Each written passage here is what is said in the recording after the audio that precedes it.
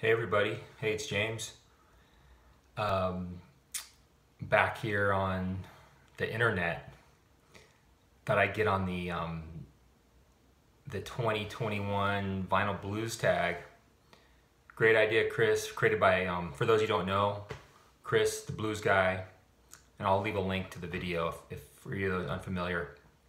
Started the vinyl blues tag, and I'm um, really glad he did this. The blues does not get enough love um, online or in the real world. So we need to promote the blues as much as possible. So great idea, Chris. I'll get right into it. Stop rambling.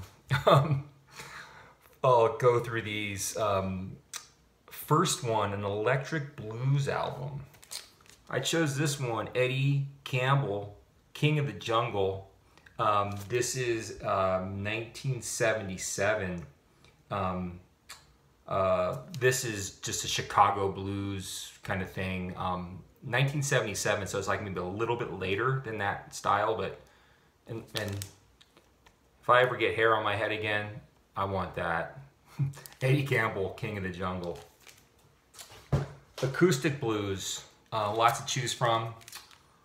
Thought I'd do this one, Clifford Gibson. Uh, this is on Yazoo, um, and this is all stuff from 1929. Uh, if you know Yazoo, it has that Yazoo vibe. Um, and I love it. Um, the liner notes start out with the scant facts known about Clifford, Clifford Gibson do little justice to his position as one of the most inspired of all country blues artists. I love when notes allude to the fact that there's not much known about somebody. Um, creates more mystery and Really nice record, Clifford Gibson on Yazoo, 1929. A live record, um, Magic Sam and Shaky Jake. This is um, live at Silvio's in Chicago, December 1968. And this is on um, Black Magic Records out of the Netherlands. The Europeans you know, I hate to say it, but I think they revere the blues sometimes more than Americans do. Um, it's just a reality, but nice record. Magic Jam, Magic Sam, Shaky Jake, live at Silvio's, 1968. There we go. Um, a gatefold or a double. Magic Slim, the blues man. Um, there's the back. It's on this French thing. Um, here's the gatefold. Um, and I don't know exactly what this is. I don't know if it's a comp or if it was originally. I think it actually might have been originally a, a twofer, or not a twofer, but an actual double album. This isn't a compilation, I'm pretty sure. Uh, nice exploitive shot there of him sitting in the junkyard. Um, but yeah, Magic Slim, the Blues Man, double. Um, what else? My oldest blues album by year, how long I've had it. I can't exactly be sure, but I'm pretty sure this is the first blues album I ever got. Buddy Guy um, left my blues in San Francisco on chess. Pretty sure this is my first. Um, I think I got this at some point in high school, maybe when I was 16, 17. Um, but it's one of these um, chess this thing came out in 87. Um, so it might have, might have, might have gotten out of this a little after high school. I don't know. I might be wrong, but Buddy Guy. I think this is my first blues record. Um, what else? My newest blues or most recent find. My newest blues, I know is this because I just got this uh, maybe a month ago. Is this blues comp? I love blues comps. Um, this is called Roots of the Post-War Blues. It just has stuff by, um, let's see, uh, Memphis Minnie, some Memphis Slim, Little Buddy Doyle, Walter Davis, Sonny Boy Williamson, Bumblebee Slim, Little Brother Montgomery, Leroy Carr. Um, and again, this is of Denmark, another European uh, blues pressing, blues reissue kind of thing. I love blues comps. They're not only inexpensive, but the music's always great. Um, I just threw this in on some order I got. I don't know, it was like five bucks and I just threw it in, but yeah, Roots of the Post-War Blues. This is the most re recent uh, blues record that I got. Uh, what else? Um, okay, Shows of Blues 45. I don't have any of those. Show of Blues 10 inch. I don't have any of those. So I'm going to skip to the next question that I can actually answer, which is um, a record on chess. Shaky Horton. Um, this could have been the first blues record I got other than that Buddy Guy. Um, Soul of the Blues Harmonica is this one. I remember I bought this specifically. I mean, I was interested in it, but at the time I was trying to learn to play harmonica. Trying is the operative word because I, I gave up.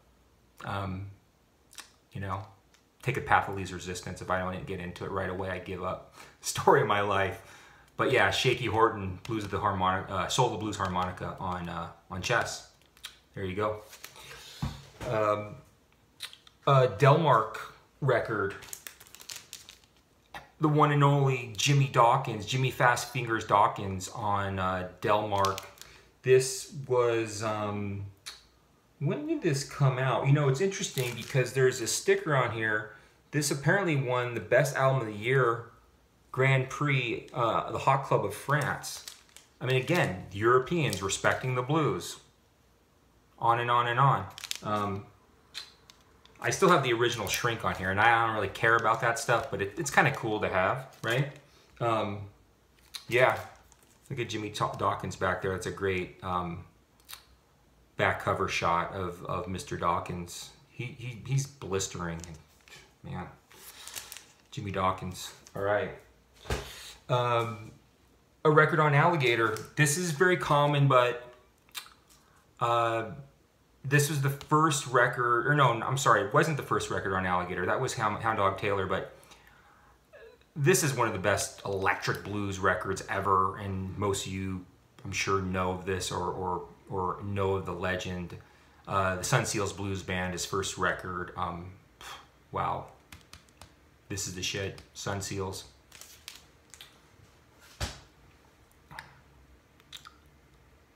Show a smaller indie blues label. I thought I'd show this Johnny Dollar on, um, it's on the, the Isabel blues label, uh, a French label. Um, this was recorded in 1980 in Paris in the studio. I have maybe four or five of these Isabels. They're all recorded late 70s to like 1980 and they're all really, really good electric blues. Um, I don't really like horns in my blues. It's not my thing. I'm okay if it's spare, if it's used sparingly. Um, this one has harmonica, but um, I mention that because there's some on this series that have horns. Um, not the ones I have, but these are these are really good series on the Isabel label out of France. Um, this one's Johnny Dollar, and they all they all say Blues Power on there. Um, there's a Buddy Guy, Junior Wells, uh, Magic Slim are some of the names that are familiar. There's a Jimmy Dawkins. Um, there's a number of these. Yeah, Isabel label. All right. Um, what else? Uh, a blues album in a regional style. Well, this one says it right on the cover. Um, Blind Teddy Darby in that St. Louis country blues, uh, 1929 and 1937. So this is a comp of um, Blind Teddy Darby.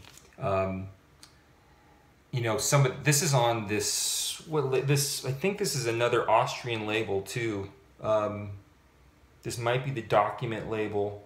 Well, it's actually Earl Records, but Austria. Once again, the Europeans come through.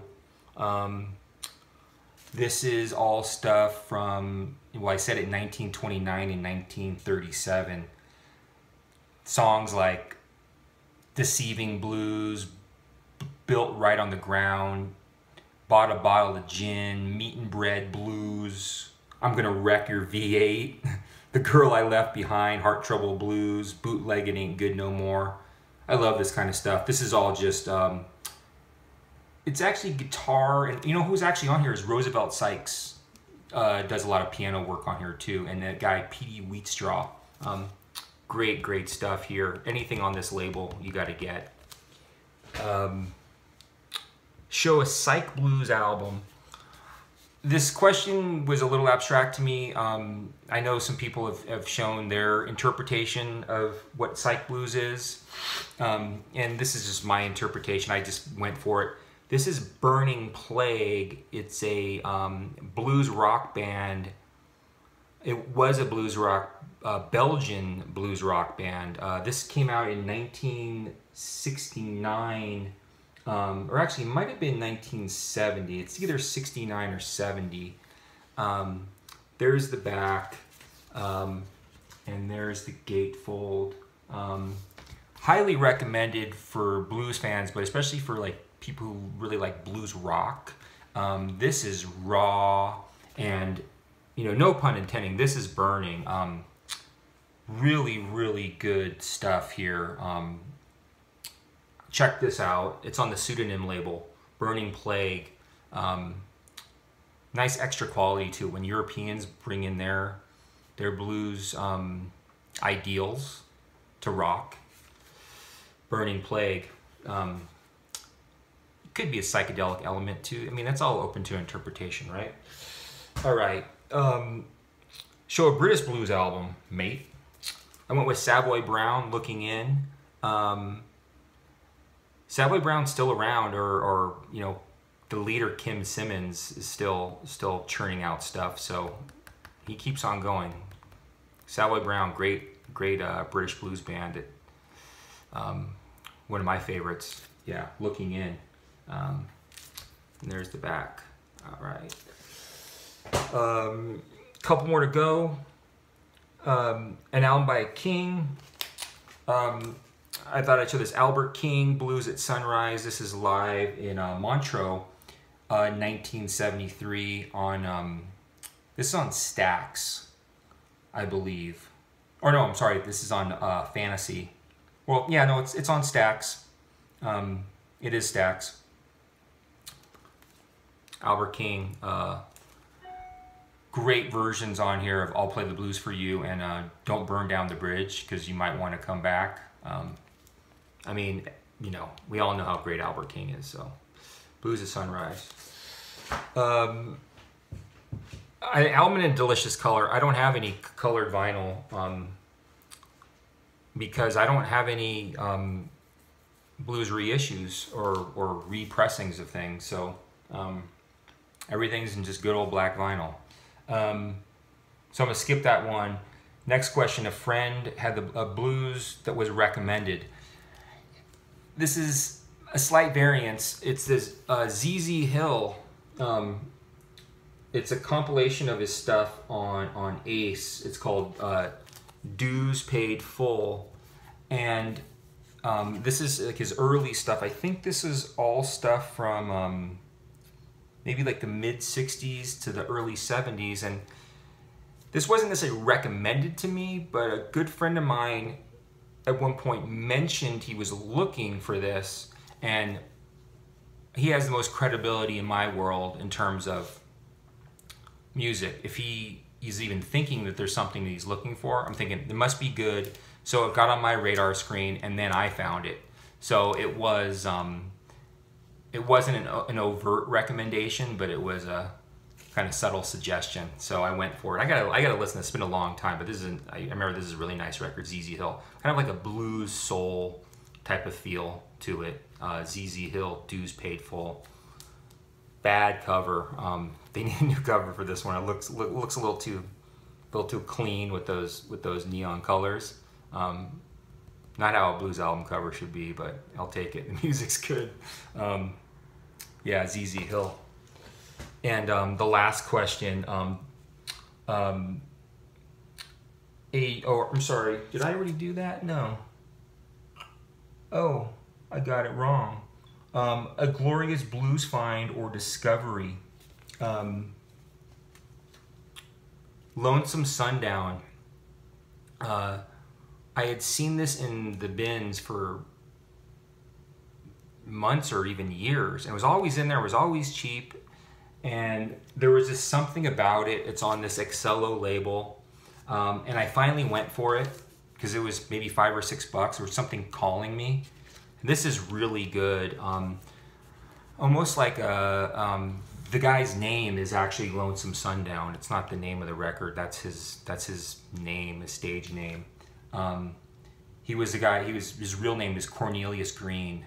Um, it has an R and B uh, flavorings to it. Lonesome Sundown.